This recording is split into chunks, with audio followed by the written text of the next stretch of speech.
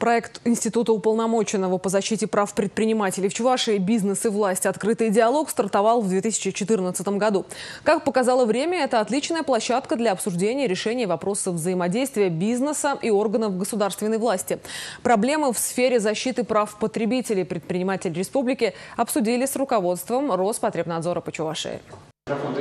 Роспотребнадзор меняет политику надзорной и карательной деятельности. Больше будет уделяться внимание профилактической работе, разъяснению ошибок, подчеркнула руководитель управления Роспотребнадзора по Чувашии Надежда Луговская. В прошлом году участились внеплановые проверки по жалобам потребителей. В то же время у предпринимателей появилась возможность взять надзорные каникулы и избежать плановой проверки, при условии, что в работе они соблюдают все правила и требования.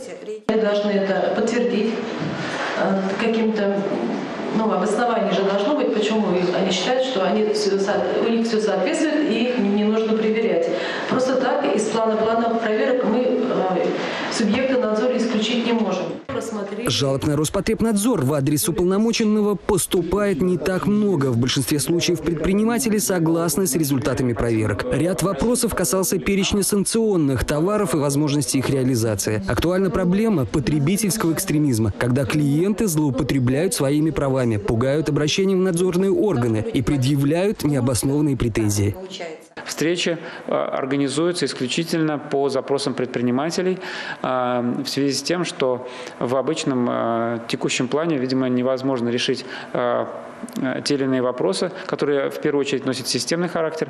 И благодаря этим встречам возникает возможность руководителям, лицам, принимающим решения, задать вопросы напрямую. По результатам встречи почти половина вопросов была решена оперативно. Родион Архипов, Игорь Зверев, Республика.